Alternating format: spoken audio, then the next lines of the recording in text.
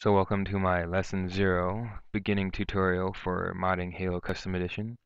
The first thing you're going to want to do is install the Halo Editing Kit, HEK, and once you do, your Halo Custom Edition directory will look like so. It'll have a tags folder, and that's the most important folder, and you'll find out why later on. Uh,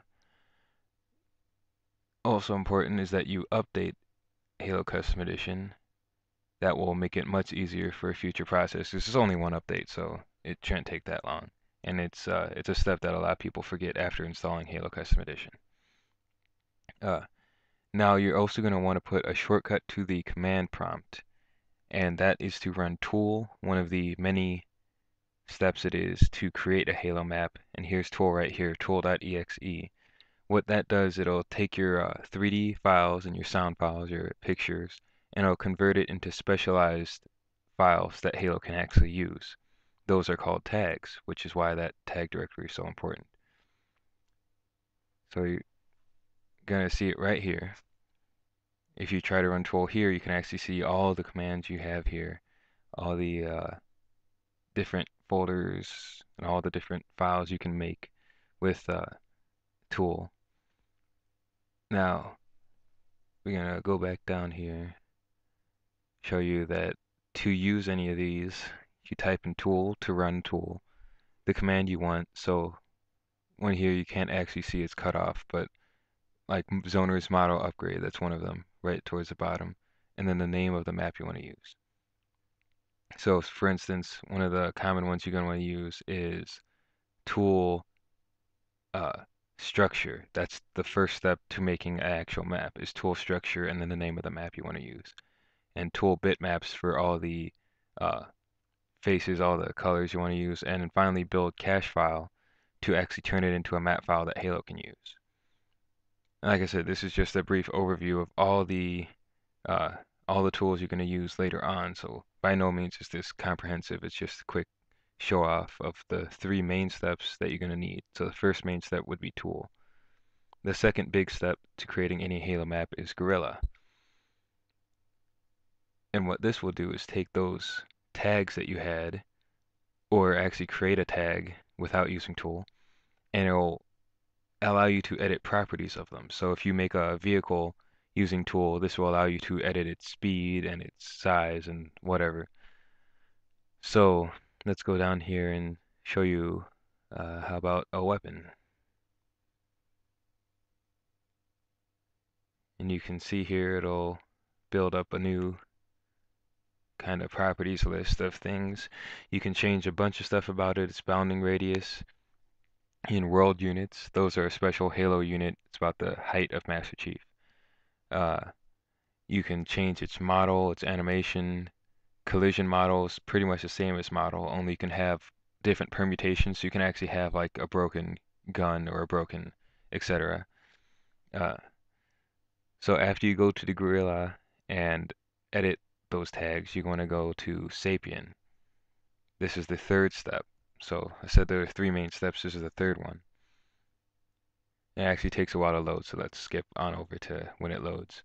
It'll take less time if you have a simple map, which is what we're going to make in the beginner tutorial, but my map is a bit more complicated despite its small size. So you can see here, this is my map, loaded in Sapien. Uh, for those of you who use uh, Halo 3 or Halo Reach, uh, the Forge mode, yeah, this is this slightly resembles Forge. You don't have any of the limitations of Forge where you can only go where there are actual things. Like you can go through walls in this mode, and you can go way out of the map or way into the map. Like right here, I'm going through the ceiling. Uh, just like Forge, you can place items, you can edit items properties and you can actually move much, much faster than you can in Forge. So I like it a lot. I think it's very convenient for building stuff. And the best part is it loads with all the Halo graphics, so anything you place, you can see exactly how it will render in Halo. And here's one of the hallways I built. I just want to show right up here, this little crevice right here. Now, first map we're going to build in beginner is not going to be anywhere this complicated or complex or anything like that. We're like we'll build up to that. So don't worry, don't freak out if you're really, really new to this. And if you're experienced, well, you shouldn't be watching this anyway. You should join me on advanced videos.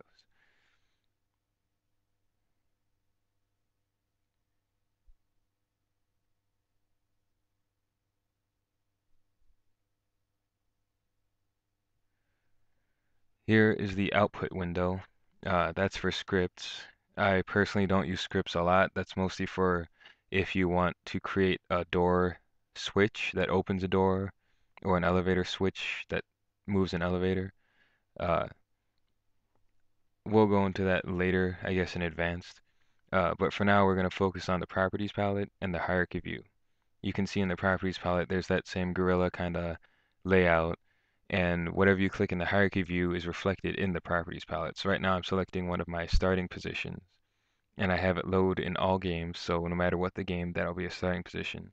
And you can see that I can edit the X, Y, and Z position of that starting position so I can make it very specific where I want it. And where it will show up right here is that little diamond-like shape with the three axis on it. That'll allow you to move it uh, just with your mouse to place it where you want. So either way, I find the mouse, of course, more convenient, but so just to show you what ends up happening, here's that test area I talked about. That's the uh, map I was showing off in Sapien. Uh, on the right, you see unknown level. Well, uh, that doesn't really matter. That just shows that it's a custom map. If it really bothers you, I'm sure there's a way to change it. So And here we go. I have a note at the bottom of the video explaining why I don't have an assault rifle showing up. Uh, not a big deal. Just wanted to explain that this is actually Halo. It's just the different kind of biped. And here's my map. I can walk around it, shoot stuff.